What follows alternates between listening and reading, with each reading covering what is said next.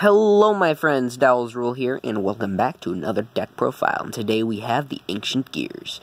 So, let's get right on into this with three Ancient Gear Hunting Hound. Now, uh, Hunting Hound has a nice burn effect on summon with for 600 damage, and it's your poly on legs, so it's definitely a 3 of in the archetype, in the deck in general. Uh, next we have your Stratos for the deck, 3 Ancient Gear Wyvern. Uh, you just set, can't set cards when you use the effect of Wyvern, so keep that in mind. Uh, not that you will be setting cards, but... Next, we have three Ancient Gear Frame. Uh, I don't happen to have any copies of Ancient Gear Fusion because I don't feel like paying $50 for two copies of it, but um, Gear Frame is really useful for discarding any of your useless spell cards in hand, and searching out any ancient, an ancient golem, which would give you an extra fusion material and could potentially be the difference between a chaos giant and not a chaos giant. So, next I'm running three of the dragon. Um, just a 3k beat stick that is easy to summon. Pretty self-explanatory. Next is the Ancient Gear Golem.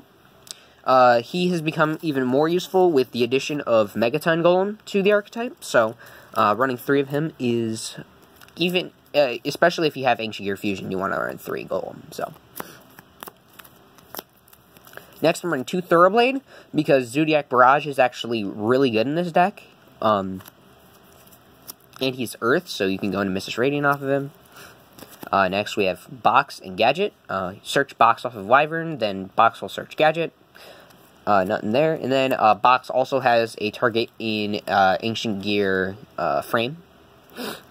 So, if you happen to hard draw the gadget, then don't worry, because Box will still be able to search a guy.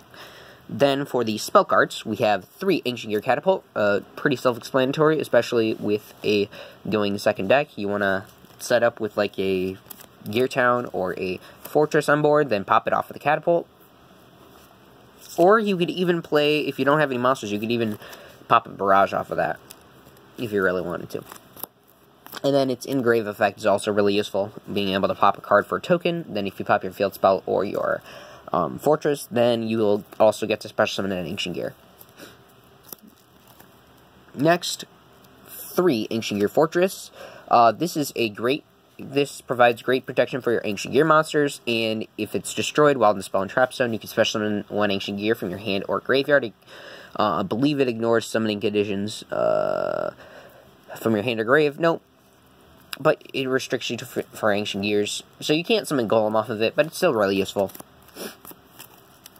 Next, free Gear Town, uh, because it's an easy pop for like Catapult and Barrage.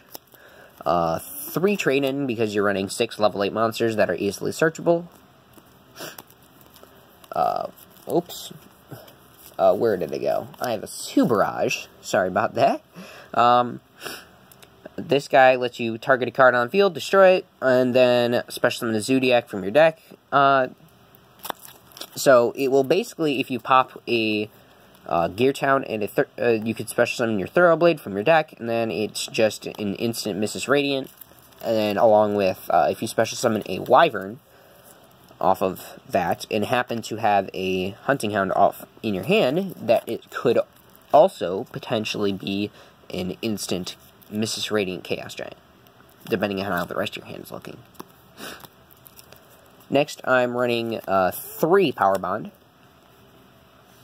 Um, just because uh, I would run two Power Bond and uh, two Power Bond, two Ancient Gear Fusion.